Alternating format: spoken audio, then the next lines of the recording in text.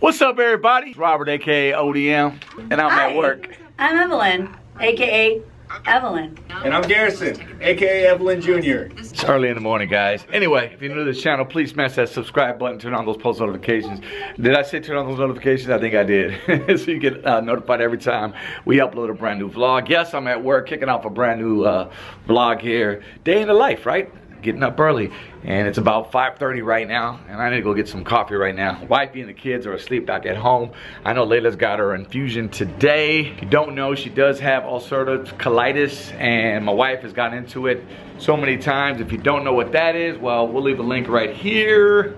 You can check that out. But yeah, we'll check in wifey a little bit later. What's going on fam? Bam! Today I have a really, really busy day, so I'm just gonna kind of bring you along with me. Right now, I just got up, got ready super quick. Um, I had to get Elijah ready because he has school today, and here he comes. What? Did you forget something? Did you forget something? I love you. Oh, I love you so much too, my love. Okay, get in the car because we're gonna leave right now, okay? I don't do this here. Okay, I'm coming right now, I promise, okay? So after I drop him off at Um, Layla and I have to head to Fontana because today is actually infusion day. So that's like a whole five hour process if you guys don't know by now. Also, once we're done with that, I may head to the mall. I'm trying to find something for our Christmas intro, something particular. I don't really want to tell you guys. I want to wait to show you guys my outfit. So I need to head to the mall to find something for that and then come back because we have so many more orders today, you guys. I love it though because it keeps me really busy. Now both of my kids are getting out of the car. I got four butt cheeks. Mine, my daughter, and my son. okay, let's go. Hey, wait for me. All right, buddy, are you ready? You're gonna go play with your friend Ryder? Yeah? You're such a silly boy. Okay, let's go. All right, fam bam. So we just pulled up in the parking structure. That's why it's like really dark here. Looks funny. Uh, seriously, you guys, out of all of these two and a half years that Layla and I have been coming to Kaiser Fontana, we have never parked in the parking structure. And what the heck were we thinking? There was so much parking in here. All the time we get here, we park downstairs, like the main parking lot, and it takes us like 10 minutes usually to find a parking. So I think this is probably what we're gonna do for now on. it's crazy.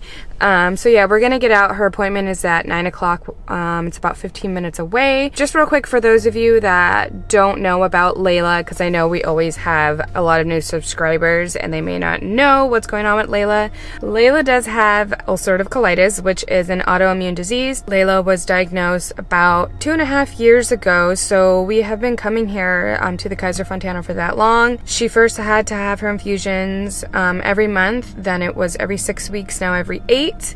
And so far, her disease is under control. She's in remission as long as she is getting these infusions every eight weeks. Um, what it is, is basically about a five hour IV treatment. So she does have to have an IV in her arm, which she doesn't mind. You guys know that the thing that she hates the most is the rubber band to find her vein. she hates that so much. She literally freaks out like the biggest baby. Am I right or am I right? She's tired, you guys.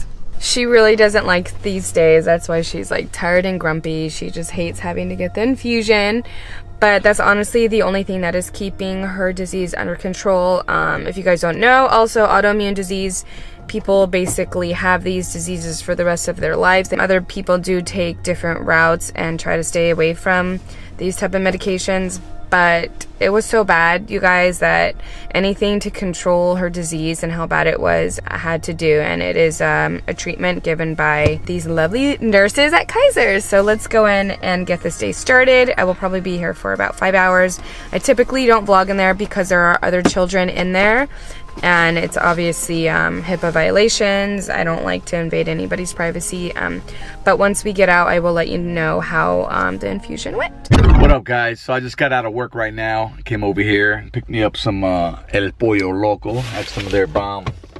I would call it bomb. They're new.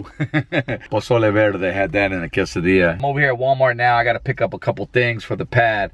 But while I was like waiting for my uh, food here, I was watching a certain uh, YouTuber's channel. They were going through a bad time right now, or they're going through currently. Anyways, at this at this video, it was a breakdown.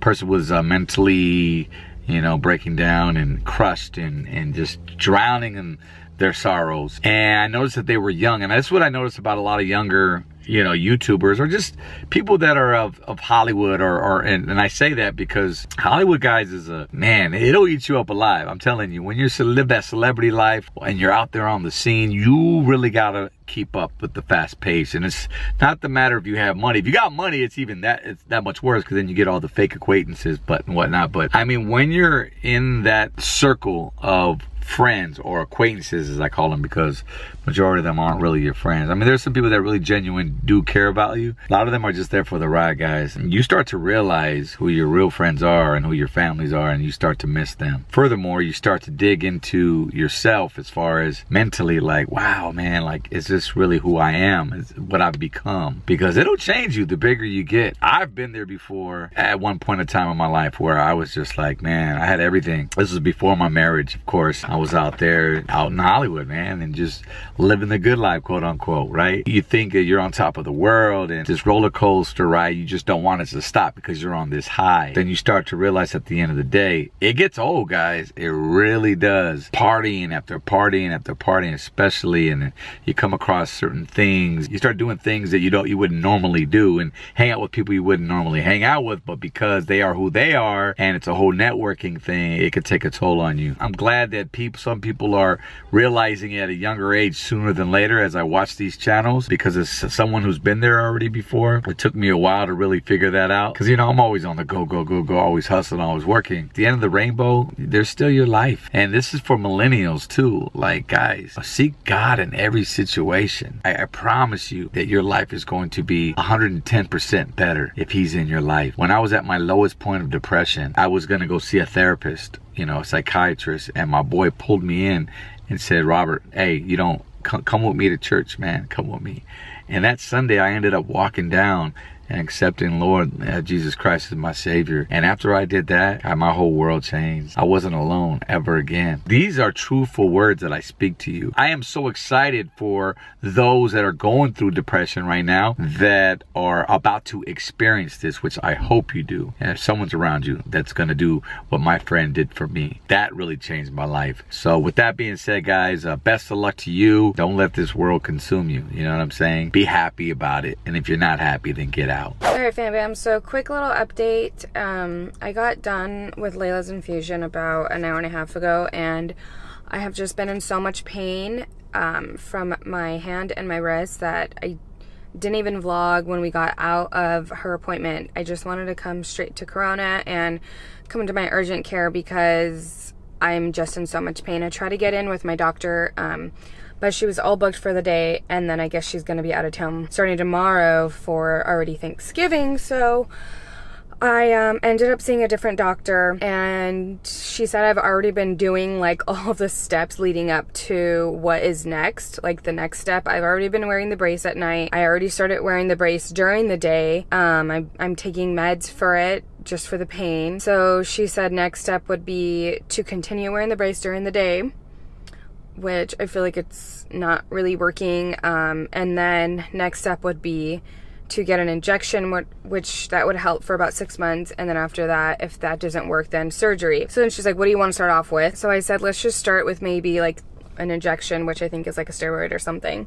So she's like, okay, but she's not my primary doctor. So she's to get approved from my primary first, which is out of town for like a week and a half, which kind of sucks. But she said if my primary is not able to do it, then she will go ahead and do it for me as soon as she can. So she's to give me a call back on that. And she said just to kind of take it easy because uh, it hurts really bad. She like tapped on the inner part of like my wrist. I'm like, oh my God, it hurts. It hurts and it like almost like, I don't know, like it vibrates. My, my whole arm, my forearm and my hand. Like everything is just hurting so bad. I literally cannot take it anymore. I told Robert yesterday, I'm just in so much pain. I cannot sleep at night. I'm constantly waking up. I'm almost afraid to fall asleep just because I know that my hand is going to start hurting. It is just so bad right now. So I think with the injection, I'm hoping that'll make me feel like a lot better. If not, then I'm thinking I may actually have to have the surgery, which I know my mom did have the surgery a while back. So that's probably going to be the next step. So yeah, that is just a little life update for you guys and just to let you know what I am going through because I have just been so miserable. You guys have no idea and just exhausted and tired of feeling this way. Like I hate it. It's making me really tired too and kind of like angry because I'm in so much pain and I, I just want to be normal. I'm about to leave the urgent care right now. I am gonna head to my sister's house because she is gonna do something to my hair, you guys. Just wait. Stay tuned.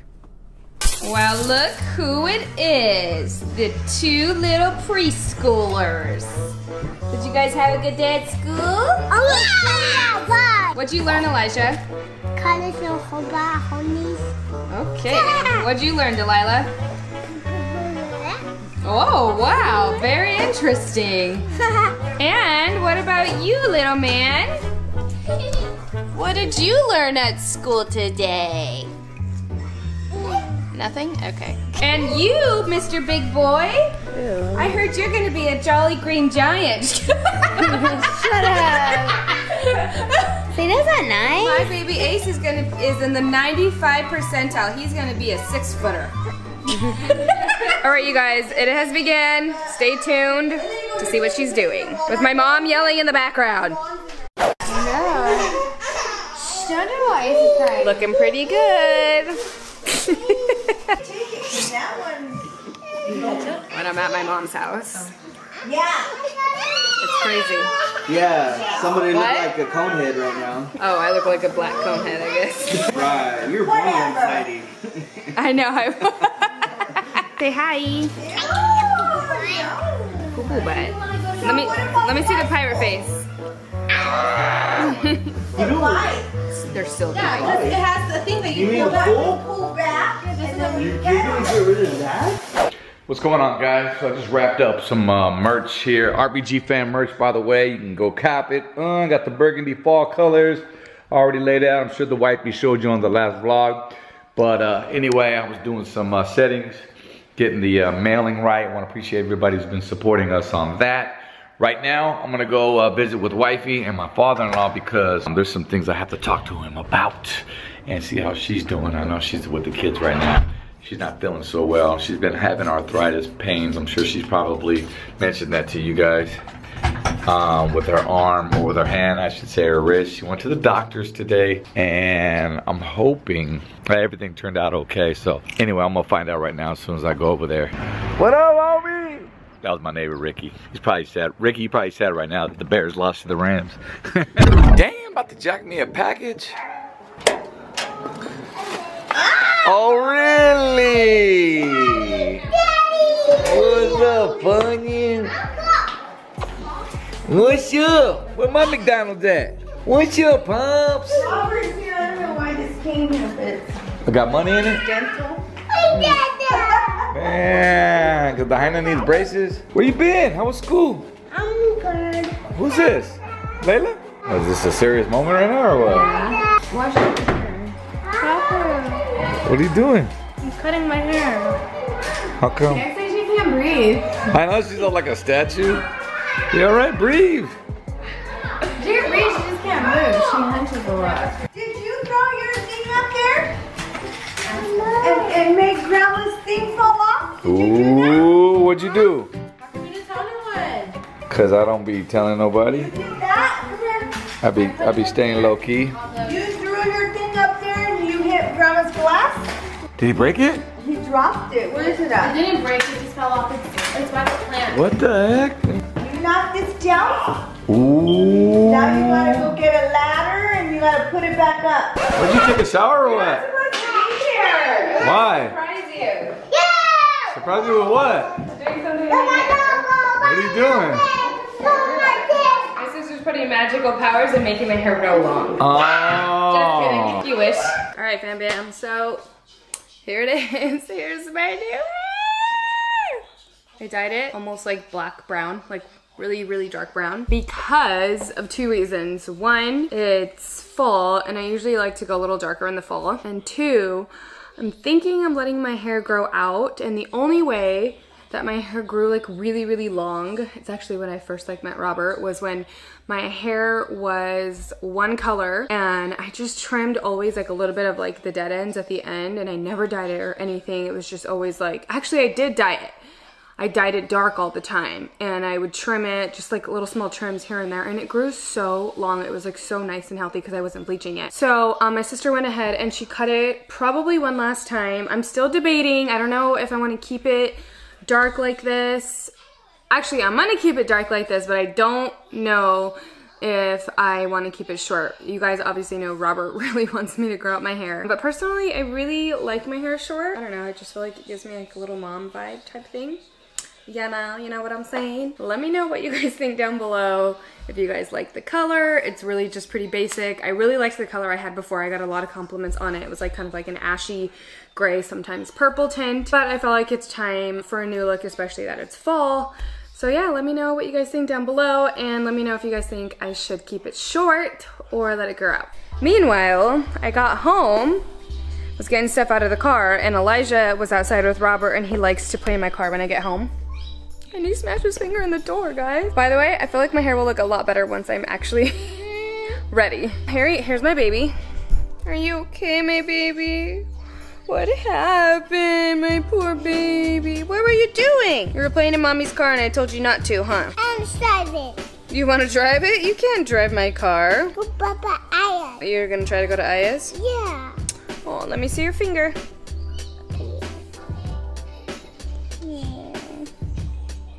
He's probably gonna lose his nail, you guys. Is it feeling a little better with the ice? I know. Were you scared when you did it? Oh, I know.